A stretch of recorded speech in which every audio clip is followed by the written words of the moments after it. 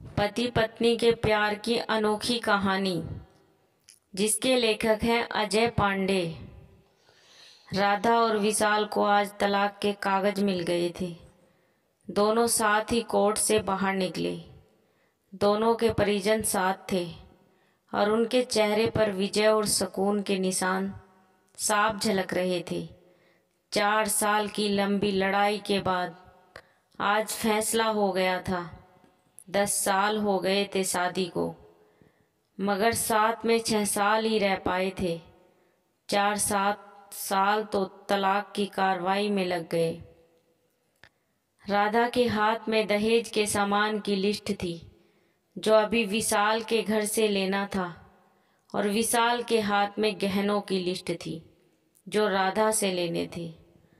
साथ में कोर्ट का यह आदेश भी था कि विशाल दस लाख रुपए की राशि एक मुश्त राधा को चुकाएगा।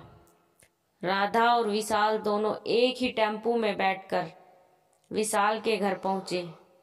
दहेज में दिए सामान की निशानदेही राधा को करनी थी। इसलिए चार वर्ष बाद ससुराल जा रही थी। आखिरी बार बस उसके बाद कभी नहीं जाना था उधर। सभी परिजन अपने अपने घर जा चुके थे। बस तीन प्राणी बचे थे। विशाल, राधा और राधा की माँ। विशाल घर में अकेला ही रहता था। माँ बाप और भाई आज भी गाँव में रहते हैं। राधा और विशाल का इकलौता बेटा, जो अभी सात वर्ष का है, कोर्ट के फैसले के अनुसार बालिक होने तक वह राधा के पास ही रहेगा। विशाल महीने में एक बार उससे मिल सकता है। घर में प्रवेश करते ही पुरानी यादें ताज़ा हो गई। कितनी मेहनत से सजाया था इसको राधा ने। एक एक चीज़ में उसकी जान बसी थी। सब कुछ उसकी आँखों के सामने बना था। एक एक ईंट से धीरे धीरे बनते घरोंदे को पूरा होते देखा था उसने। सपनों का घर था उसका। कितनी शिद्दत से विशाल ने उसके सपने को पूरा किया था। विशाल थकारा सा सोफे पर पसर गया। बोला, ले लो जो कुछ भी चाहिए, मैं तुझे नहीं रोकूँगा। राधा ने अब गौर से विशाल को देखा। चार साल में कितना बदल गया है। बालों में सफ़ेदी झांकने लगी है। शरीर पहले से आधा रह गया है। चार साल में चेहरे की रौनक गायब हो गई। वह स्टोर रूम की तरफ़ बढ़ी, जहाँ उसके दहेज का अधिकतर सामान पड़ा था। सामान ओल्ड फ़ैशन का था, इसलिए कबाड़ की तरह स्टोर रूम में डाल दिया था। मिला भी कितना था उसको दहेज, प्रेम विवाह था दोनों का। घर वाले तो मजबूरी में साथ हुए थे। प्रेम विवाह था तभी तो नज़र लग गई किसी की। क्योंकि प्रेमी जोड़ी को हर कोई टूटता हुआ देखना चाहता है। बस एक बार पीकर बहक गया था विशाल। हाथ उठा बैठा था उस पर। बस वो गुस्से में मायके चली गई थी। फिर चला था लगाने सिखाने का दौर। इधर विशाल के भाई भाभी, उधर राधा की माँ। नौबत कोर्ट तक जा पहुँची और तलाक हो गया। न राधा लौटी न विशाल लाने गया। राधा की माँ बोली, कहाँ है तेरा सामान? इधर तो नहीं दिखता। बेच दिया होगा इस शराबी ने। चुप रहो माँ। राधा को न जाने क्यों। विशाल को उसके मुँह पर शराबी कहना अच्छा नहीं लगा। फिर स्टोर रूम में पड़े सामान को एक एक करके लिस्ट में मिलाया गया। बाकी कमरों से भी लिस्ट का सामान उठा लिया गया।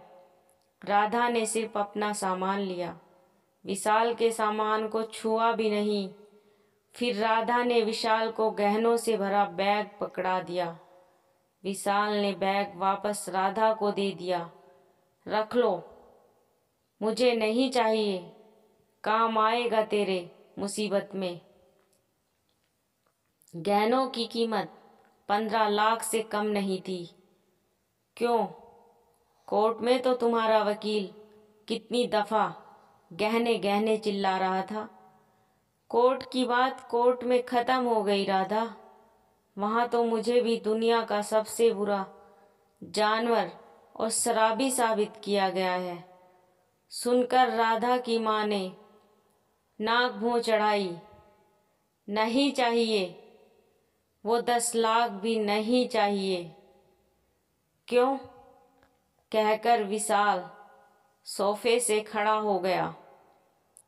बस यूँ ही राधा ने मुँह फेर लिया।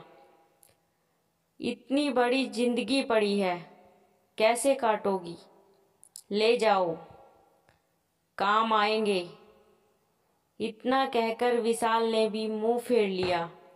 और दूसरे कमरे में चला गया। शायद आँखों में कुछ उमड़ा होगा, जिसे छुपाना ज़रूरी था। राधा की माताजी गाड़ी वाले को फ़ोन करने में व्यस्त थी। राधा को मौका मिल गया। वो विशाल के पीछे उस कमरे में चली गई। वो रो रहा था, अजीब सा मुँह बनाकर, जैसे भीतर के सैलाब को। दबाने की जद्दोजहद कर रहा हो। राधा ने उसे कभी रोते नहीं देखा था। आज पहली बार देखा, न जाने क्यों, दिल को कुछ सुकून सा मिला। मगर ज़्यादा भावुक नहीं हुई। संदेह अंदाज में बोली, इतनी फ़िक्र थी तो क्यों दिया तलाक? मैंने नहीं तलाक, तुमने दिया। दस्तखत तो तुमने भी किए। माफ़ी नहीं मांग सकते थे। मौका कब दिया तुम्हारे घर वालों ने? जब भी फ़ोन किया, काट दिया। घर भी आ सकते थे।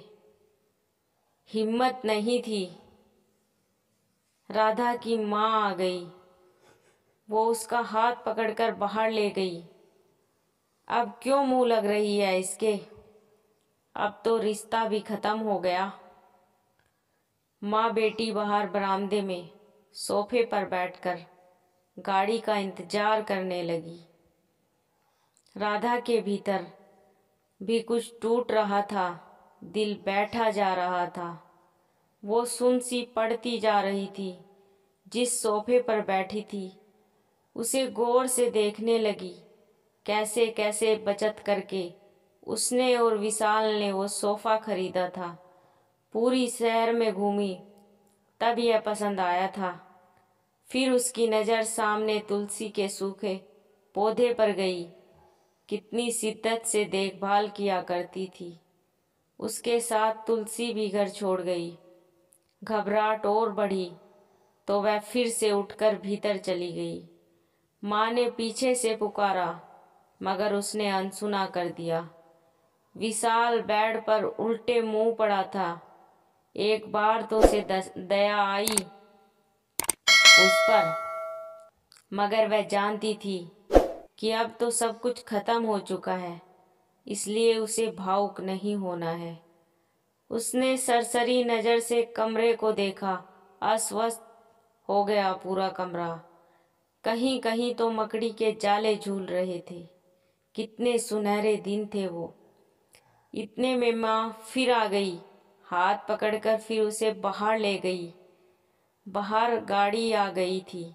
सामान गाड़ी में डाला जा रहा था। राधा सुन सी बैठी थी। विशाल गाड़ी की आवाज़ सुनकर बाहर आ गया। अचानक विशाल कान पकड़कर घुटनों के बल बैठ गया। बोला, मत जाओ, माफ़ कर दो प्लीज़। शायद यही वो शब्द थे, जिन्हें सुनने के लिए चार साल से तड़प रही थी। सब्र के सारे बाँध एक साथ टूट गए। राधा ने कोर्ट के फैसले का कागज़ निकाला और फाड़ दिया और माँ कुछ कहती, उससे पहले ही लिपट गई विशाल से। साथ में दोनों बुरी तरह रोते जा रहे थे। दूर खड़ी राधा की माँ समझ गई कि कोर्ट के आदेश दिलों के सामने, कागज़ से ज़्यादा कुछ नहीं।